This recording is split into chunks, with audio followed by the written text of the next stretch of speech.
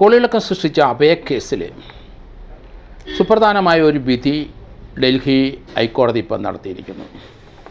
ഡൽഹിയിലെ ജസ്റ്റിസ് സ്വർണകാന്ത ശർമ്മയ്ക്ക് അവിടെ രണ്ടായിരത്തി ഒൻപതിൽ സിസ്റ്റർ സ്റ്റെഫി അഭയക്കേസിലെ പ്രതിയായ സിസ്റ്റർ സ്റ്റെഫി സി ബി ഐക്ക് ഒരു ഡൽഹി ഹൈക്കോർട്ടിൽ ഒരു കേസ് ഫയൽ ചെയ്തു. ആ കേസിന്റെ വിധി ഇന്നലെ വന്നു. ഹൈമനോപ്ലാസ്റ്റി എന്ന ശസ്ത്രക്രിയ ചെയ്തത് ഭരണഘടനയുടെ ആർട്ടിക്കിൾ ഇരുപത്തൊന്നിന്റെ വയലേഷനാണെന്നാണ് കോടതി ഇപ്പം പറഞ്ഞിരിക്കുന്നത്. വെർജിനിറ്റി ടെസ്റ്റ് എന്ന് നടത്തുന്നത് ഒരാളുടെ വ്യക്തിയുടെ എതിരായിട്ടുള്ള ആർട്ടിക്കിൾ ഇരുപത്തൊന്നിന് ലിബർട്ടിയുടെ സ്വാതന്ത്ര്യത്തിന്റെ ലംഘനമായിട്ടാണ് ഡൽഹി ഹൈക്കോടതി ആ വിധി പ്രസ്താവിച്ചിരിക്കുക പ്രതിയായാലും അല്ലെങ്കിലും ഒരാളുടെ ഡിഗ്നിറ്റി അത് ചോദ്യം ചെയ്യാൻ പാടില്ല. ഇവിടെ അവർ വെർജിൻ ആണോ ഇല്ലയോ എന്ന്.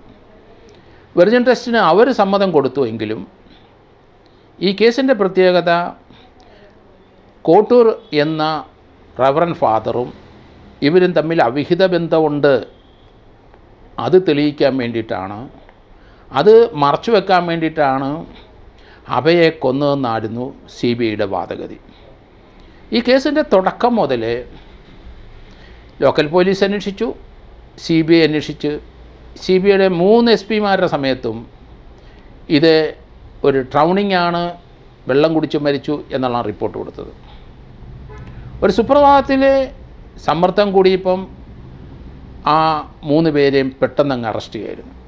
ഹൈക്കോടതി ജസ്റ്റിസ് ആ ഈ കേസിന് പല സന്ദർഭത്തിലും ചില നിരീക്ഷണങ്ങൾ നടത്തിയിട്ടുണ്ട്. ഇതൊരു ട്രൗണിങ് കേസാണ് അല്ലെങ്കിൽ വെള്ളം കുടിച്ച് മരിച്ച കേസാണ്. ഇതൊരു മാണ്ടറല്ല എന്ന് ഹൈക്കോടതി പല പ്രാവശ്യം നിരീക്ഷിച്ചിട്ടുണ്ട്. കാരണം അതിന്റെ പോസ്റ്റ്മോർട്ടം സർട്ടിഫിക്കറ്റ് അതിന്റെ സർക്കംസ്റ്റൻസ് ഒക്കെ ബെയിലിന് വന്നപ്പോഴും അല്ലാത്തപ്പോഴും ഒക്കെ നിരീക്ഷിച്ചതാണ്. ഡൽഹിയിലാണ് സി ബി ഐയുടെ ആസ്ഥാനം.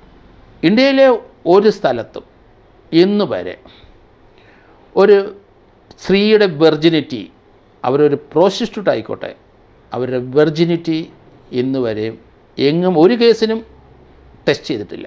ഭരണഘടനാ ലംഘനം തന്നെ.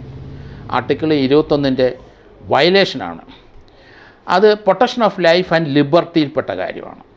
നമ്മുടെ ജീവിതത്തിന്റെ ഭാഗമാണ്. രണ്ടായിരത്തി എട്ട് നവംബർ ഇരുപത്തഞ്ചിനാണ് എക്സ്ട്രീമലി ട്രോമാറ്റിക്കായ ഈ ഒരു സംഭവം കേരളത്തിൽ സി ബി ഐ നടത്തിയത്. പക്ഷേ ആ കേസിലെ പ്രതിയായ ഷെഫി താൻ ഇന്നസെന്റ് ആണ്. തന്റെ വെർജിനിറ്റി ടെസ്റ്റ് ചെയ്തു. അങ്ങനെയെങ്കിലും തനിക്ക് രക്ഷപ്പെടുമല്ലോ എന്ന് വിചാരിച്ച് അവരതിന്റെ കൺസെന്റ് കൊടുത്തു. ഇന്ത്യയുടെ ചരിത്രത്തിൽ ഒരിടത്തും ഇന്ന് വരെ ഒരു വെർജിനിറ്റി ടെസ്റ്റ് നടത്തിയിട്ടില്ല.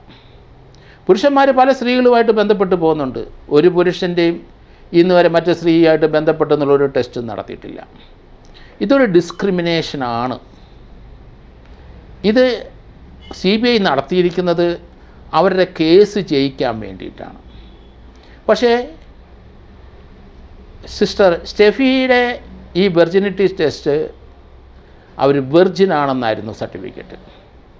അത് വെച്ചുപിടിപ്പിച്ചതാണ് എന്ന് പറഞ്ഞ് സി ബി ഐ ആ എവിഡൻസ് തിരിക്കാനായിട്ട് ശ്രമിച്ചു. അതിന് ഡോക്ടർ രമ ഇന്ന് അവർ ജീവിച്ചിരിപ്പില്ല. അവരെ കൊണ്ടത് പറയിപ്പിച്ചു. ഫോറൻസിക് സയൻസ് ലാബറട്ടറിയിലെ ഫോറൻസിക് സയൻസ് എക്സ്പെർട്ടായ ഡോക്ടർ ഡോക്ടർ രമ അതേപ്പറ്റി ഒപ്പീനിയൻ ചോദിച്ചപ്പോൾ അത് വെച്ച് പിടിപ്പിച്ചതാണ്.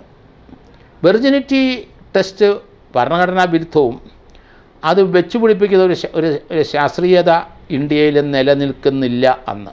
ഇപ്പോഴുണ്ടോ ഇല്ലെന്ന് എനിക്കറിയില്ല. ഇന്ത്യയിലോ ഒരിടത്തും വെർജിനിറ്റി വെച്ച് പിടിപ്പിക്കുന്നതായിട്ട് കണ്ടിട്ടില്ല. അന്ന് അങ്ങനെ ഒരു ശാസ്ത്രശാഖ ഇവിടെ ഡെവലപ്പ് ചെയ്തിട്ടുമില്ല. പിന്നെ എങ്ങനെ ഡോക്ടർ രമ ഈ കേരളം വിട്ടു പോയിട്ടില്ലാത്ത സിസ്റ്റർ ഷെഫിയെ പറ്റി ഇങ്ങനെ പറഞ്ഞു. സി ബി ഐയുടെ നിർബന്ധത്തിന് വഴങ്ങി അവർ ഒപ്പീനിയൻ മാറ്റിയതായിട്ടാണ് ഞാൻ മനസ്സിലാക്കുന്നത്. അതുപോലെ തന്നെ ഫോറൻസിക്കിലെ ഡോക്ടർ രാധാകൃഷ്ണനാണ് അഭയ കേസിന്റെ പോസ്റ്റ്മോർട്ടം കോട്ടയത്ത് നടത്തിയത്. ഇത് വെള്ളം കുടിച്ച് മരിച്ച് ഇതൊരു സൂയിസൈഡ് ലക്ഷണമാണെന്ന് അദ്ദേഹം അന്ന് ഒപ്പീനിയൻ കൊടുത്തിട്ടുണ്ട്. അവർക്കൊരു ഫെയ്റ്റൽ ഇഞ്ചുറി എങ്ങുമില്ല. ചെറിയ ഒരവുകൾ മാത്രം.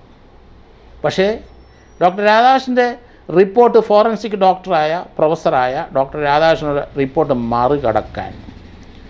വന്യവയോധികനായ ഏകദേശം എൺപത്തഞ്ച് തൊണ്ണൂറ് വയസ്സുള്ള പഴയ ഒരു ഫോറൻസിക് പ്രൊഫസർ ഡോക്ടർ ഗുഹരാജാണെന്ന് എനിക്ക് തോന്നുന്നു. പഴയ ഒരു അദ്ദേഹത്തിനെ കൊണ്ടുവന്നിട്ട് ഒരു ഒപ്പീനിയൻ കൊടുത്തു. തലയിലേറ്റ മുറിവ് കൊണ്ടാണ്. ഗുഹരാജല്ല എനിക്കൊന്ന് കന്തസ്വാമിയാണോ എന്ന് സംശയമുണ്ട്.